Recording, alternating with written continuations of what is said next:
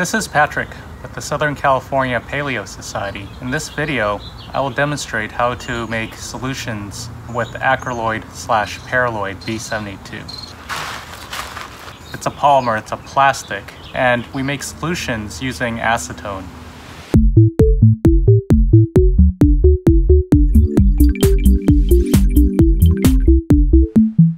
Now the reason why we would want to use acryloid slash paraloid B72 is because B72 is widely used throughout the paleo world as a consolidant. And what it's useful for is that frequently the fossils that we find are very fragile. Not only are the fossils themselves fragile, the matrix, the background material that they are in, can also be very fragile as well. And so we need something to kind of solidify the mass and to also stabilize and protect the fossil itself. And that's where B72 comes in handy. B72 has a lot of advantages. It's really easy to work with. It dissolves very readily in acetone. And once it's dissolved in acetone, the acetone helps it penetrate matrices very easily so that you can basically soak the entire specimen in B72, which will then solidify it. B70 also has some other desirable properties, such as is very stable. It does not break down very readily. Uh, it will withstand the test of time. Another good property of B72 is that it does not yellow with age. So frequently with other materials, as it ages, it'll start picking up some other colors and it'll start uh, discoloring. So B72 will not do that.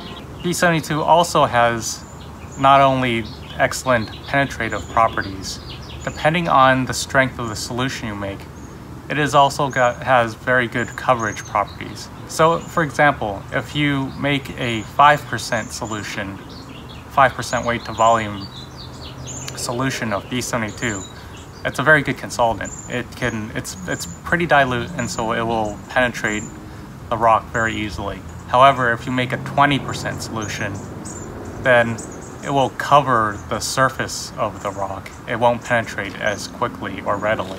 And that's very useful too, because sometimes you may want to uh, get a good nice surface coating on it for aesthetic purposes or as a good uh, writing surface. Uh, if you would want to mark your specimens, give them a unique ID later. Also, B72 has some great adhesive properties. So again, if you put a thin layer of B 20% B72 solution on, it will coat the surface and then you can glue uh, something else on top of it. So for example, if you accidentally broke your specimen or if there's a, the rock has, the matrix has broken and you want to glue it back together, B72 is very useful for that. You can use a 20% solution all the way up to a 50% solution. B72 is, is incredibly useful and this is one of the things that will be useful for further preparation on down the line. So this is a prerequisite. You'll need to make sure your specimen is stabilized and repaired in order to do uh, some of the preparation further out, such as using an air scribe, using air abrasives, or any number of uh, other preparation techniques.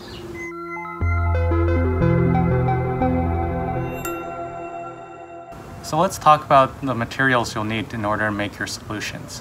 Now the first thing you'll need is uh, equipment to protect yourself. We're going to be using acetone as a solvent, and acetone can potentially be absorbed through your skin, and you would not want that. So make sure you have a pair of latex or nitrile gloves to protect your hands. Also, uh, as with any chemical, there is the potential for splashes and so you would also want to protect your eyes. Make sure that the chemical won't splash into your eyes. And so make sure you have a pair of safety glasses or safety goggles. Now once you have your safety equipment, some of the other items you'll need is obviously B72. B72 is sold in little plastic pellets like this. This uh, particular package is a one pound package and I found that uh, one pound is more than enough that I'll need for my lifetime of uses. The other thing you'll need is acetone. This is available in any hardware store. uh, frequently there's a the, the cap is a little difficult to open and so there's a little notch. You may need a little screwdriver to kind of pop the cap open. You'll also need a container to make your solution in. Now acetone is a pretty strong organic solvent, which means it will dissolve a lot of different types of plastic. And so you need to make sure that well, whatever container you're going to be working with acetone is compatible with acetone. And some of the materials that are compatible would be metal, which is why this, this container is sold in the metal package. Metal is compatible, so is glass. So these are uh, empty nail polish uh, bottles, and these are made out of glass. Now these nail polish bottles are really useful for uh, aliquoting your solution in. So once you've made a big batch, it's useful to divide them up into smaller batches and store them in nail polish bottles. And they're really, really useful because they already have a brush inside, and so that's useful for applying your solution. Also, nail polish is frequently uses acetone as the solvent. And so this container is already designed to hold an acetone solution. So you know it's going to be compatible and also acetone is very volatile, which means it will evaporate really quickly. And so you also need something that will be able to seal it, to seal it pretty tightly to prevent acetone from evaporating. Another note on the nail polish bottles, you can reuse uh, clear nail polish, that's fine. It has to be clear. You don't you wouldn't want to have a introduce a tint to your solutions. And you can reuse them as long as you clean them out with acetone very thoroughly. So make sure it's rinsed out very thoroughly and dry it out. Now back to the container. Uh, glass and metal are okay, but what about plastics? Well, some plastics are compatible, not all plastics. We want to make sure that the container that we use is uh, compatible. And so I know, for example, that polypropylene is a compatible plastic. At the bottom of the container, there is a recycling triangle. And inside the triangle, there'll be a resin code, which is a number. And then at the bottom, there'll be some letters. And so this one says PP at the bottom. And PP stands for polypropylene. And so I know then that this container is compatible with acetone. And if you are going to be working with uh, chemicals and making your solutions, you should always label your solutions. And so I've already pre-labeled my container here in preparation for my solution. Now you'll also need a kitchen scale. This is to measure out the amount of B72 you'll need to make your solution. You would also want some uh, aluminum foil, just a little piece that acts as weigh paper uh, for your scale. Also uh, a measuring cup.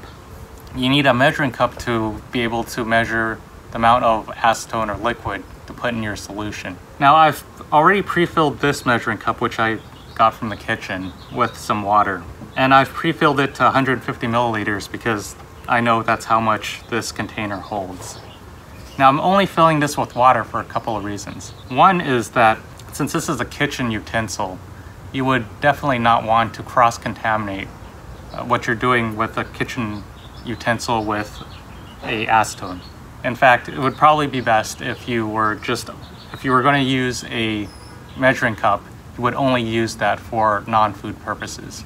Now, the other reason that uh, I filled this with water is because this is made out of plastic. And I don't know what type of plastic this is made out of, so I'm not sure if this is compatible with acetone. And so that's why I filled it with water first because I can then just pour it into this container and then mark it.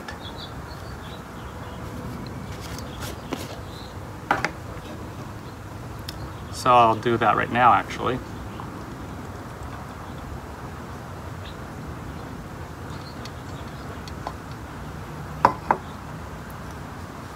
And then all I need to do is take a Sharpie and just mark the water level.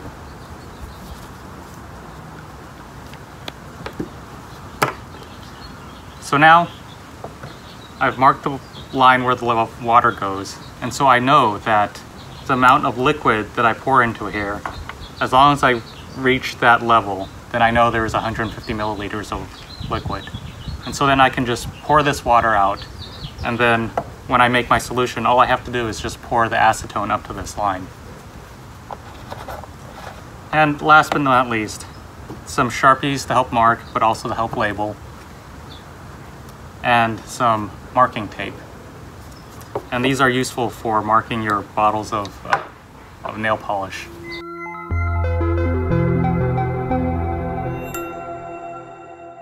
So once we've got all our materials, the next step is to figure out how much B72 we're going to need. Now, of course, that depends on the volume of the solution that we'll be making.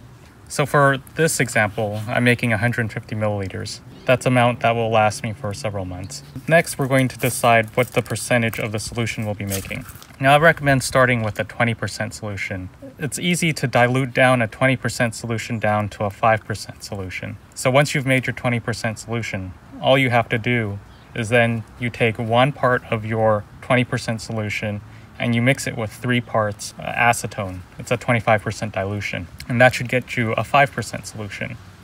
Let's figure out now how much B72 we're going to need in order to make a 20% solution in 150 milliliters. And it's a 20% weight to volume ratio. Since this is paleontology, we're just using a working solution. Uh, so it's good enough that we just do a weight to volume ratio. Then the calculation would then be really simple because we would just multiply 20% or 0.2 times our volume, which is 150 milliliters. That would equals 30, which is the amount of grams that we'll need of B72. So if you were going to do a 5% solution, it would be 0.05 times 150 equals 7.5 grams. So let's weigh out 30 grams of B72. So First we turn on our scale, put our weigh paper down. it's a little windy, so make sure it's in grams.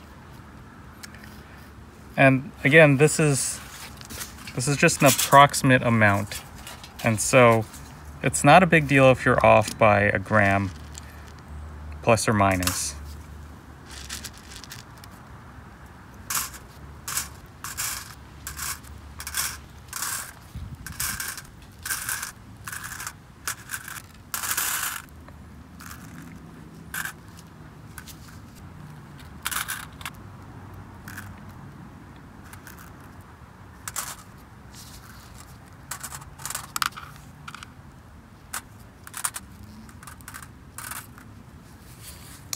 Okay, so there's 30 grams.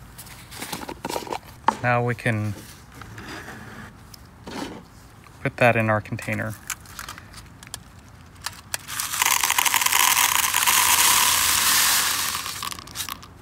Since we have our B72 measured out, then we can just, there's a notch in here that just use the, the screwdriver to Okay, and then now you want to be very careful and pour in your acetone solution.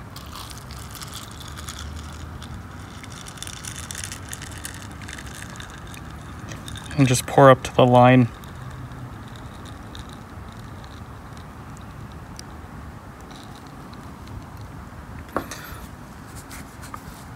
So that's up to the line and then it should start dissolving as soon as you do that. But since this is 20%, there's quite a bit of B72 in there, so it may take a few hours uh, just to play it safe. You may want to just let it sit there overnight and let it dissolve. So once your solution is fully dissolved, you shouldn't see any uh, any pellets in there still, and if you swirl it around, there shouldn't be any clouds at the bottom. Once it's nice and perfectly clear, then it's ready for you to start uh, putting it into your clear nail polish bottles. And while I was waiting, I labeled all of my bottles. These are new, but you can reuse uh, old ones. Just make sure the bottles that you are reusing are clear nail polish. It's gotta be clear. And also make sure you uh, rinse it out very thoroughly with acetone. Make sure you get the old remnants out. And then uh, make sure it's also dry but uh, acetone is very volatile. It will evaporate very quickly. And just fill this up.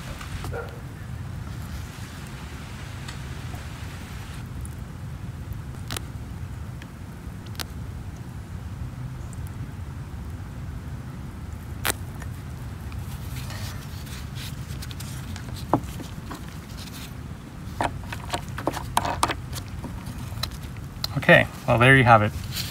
This will make a lot of solution and will should be enough to last you for a while. And these bottles are really, really handy. So this brush makes a very handy applicator. And also you can put it in your field bag um, and take it out into the field. Oftentimes we'll find a fossil in the field that looks like it's very crumbly or very fragile. So you can apply the consolidant, uh, you'd want to use 5%. Can also use 20%, it just depends on the type of material, more commonly 5% and you can apply it right in the field and because acetone is so volatile it will dry very very quickly. And so after a few minutes it should be stabilized, which would be very helpful if, when you try to extract your fossil.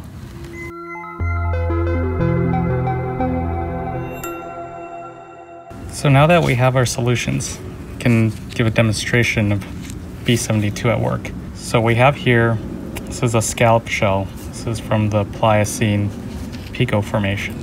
So this has already been cleaned off. Uh, it's been washed and brushed to get rid of some of the, the sediment around it.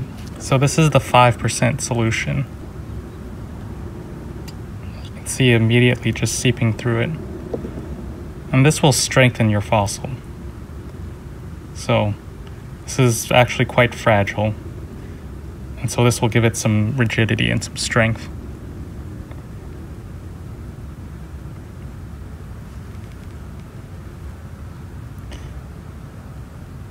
Now just for contrast, I'm going to apply the 20% solution. Another reason why people like using B72 is that see when it is applied, you get this nice kind of a shiny polished look. Almost like a wet look. And people like that.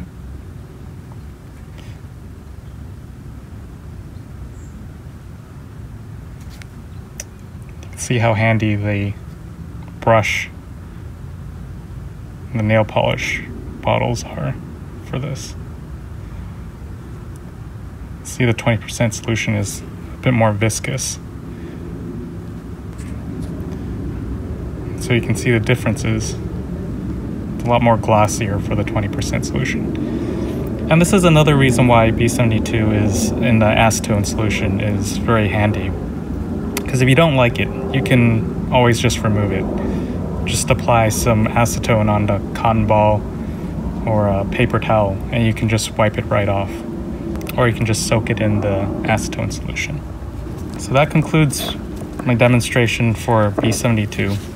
I hope you found this informative and thank you so much for watching.